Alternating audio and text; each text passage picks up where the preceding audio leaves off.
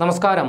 മനുഷ്യരാശിക്ക് പ്രത്യാശയുടെ പുതുവെളിച്ചം സമ്മാനിച്ച് ലോകത്തിലെ ഏറ്റവും വലിയ വാക്സിനേഷൻ പ്രക്രിയയ്ക്ക് ഇന്ത്യയിൽ തുടക്കമായി.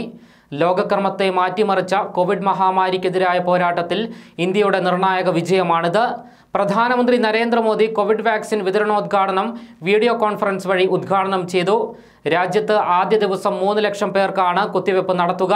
ലോകത്തിന് ഇന്ത്യ മാതൃകയാണെന്നും ഏറ്റവും സുരക്ഷിതമാണ് ഇന്ത്യയുടെ വാക്സിൻ എന്നും പ്രധാനമന്ത്രി പറഞ്ഞു. വാക്സിൻ എടുത്താലും ജാഗ്രത കുറയ്ക്കരുത്. വ്യാജ പ്രചരണങ്ങളിൽ വീഴരുത്.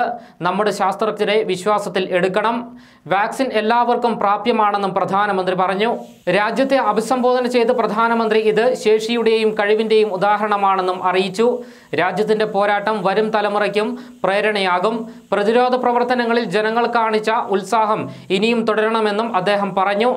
ആദ്യഘട്ട വാക്സിൻ വിതരണത്തിന്റെ ചെലവ് കേന്ദ്ര സർക്കാർ വഹിക്കുമെന്നും അദ്ദേഹം പറഞ്ഞു. ജനുവരി മുപ്പതിനുള്ളിൽ വാക്സിനേഷൻ ആദ്യഘട്ടം പൂർത്തിയാക്കും. വാക്സിൻ സ്വീകരിച്ചു കഴിഞ്ഞാലും ജനങ്ങൾ മാസ്ക് ധരിക്കണം. രണ്ടാം ഘട്ടമാകുമ്പോൾ മുപ്പത് കോടി ജനങ്ങൾക്ക് വാക്സിൻ ലഭ്യമാക്കും. വാക്സിനായി പ്രയത്നിച്ച ശാസ്ത്രജ്ഞന്മാർക്ക് അഭിനന്ദനങ്ങൾ അറിയിച്ചു.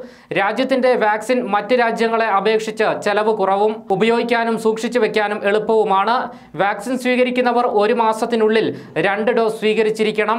രാജ്യത്തിന് ഇത് അഭിമാന നിമിഷമാണെന്നും പ്രധാനമന്ത്രി പറഞ്ഞു. അതിനിടെ രാജ്യത്ത് പ്രതിദിന കോവിഡ് രോഗികളുടെ എണ്ണം കുറയുകയാണ്. കഴിഞ്ഞ ഇരുപത്തിനാല് മണിക്കൂറിനിടെ പതിനയ്യായിരത്തി ഒരുന്നൂറ്റി അൻപത്തിയെട്ട് പേർക്ക് രാജ്യത്ത് രോഗബാധ സ്ഥിരീകരിച്ചു.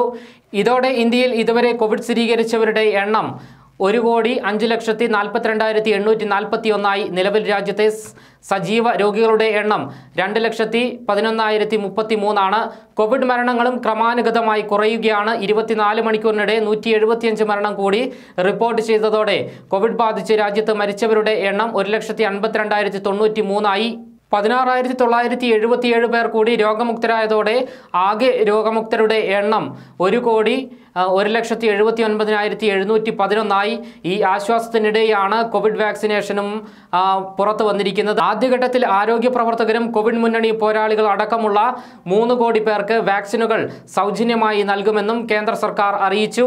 ഇതിനായി രാജ്യമെങ്ങും മൂവായിരത്തി ആറ് കോവിഡ് വാക്സിനേഷൻ കേന്ദ്രങ്ങൾ തയ്യാറാക്കിയിട്ടുണ്ട്. പൊതു സ്വകാര്യ മേഖലകളിലെ ആരോഗ്യ പ്രവർത്തകർ ശുചീകരണ തൊഴിലാളികൾ സൈനികർ അർദ്ധസൈനിക വിഭാഗങ്ങൾ ദുരന്ത നിവാരണ പ്രവർത്തകർ എന്നിവർക്കാണ് ആദ്യഘട്ടത്തിൽ സൗജന്യ വാക്സിനേഷൻ ലഭിക്കുന്നത് സർക്കാരിന്റെ കോവാക്സിൻ പോർട്ടലിൽ വാക്സിൻ സ്വീകരിച്ചവരുടെ പേരുകൾ ഉൾപ്പെടുത്തുകയും ചെയ്യും.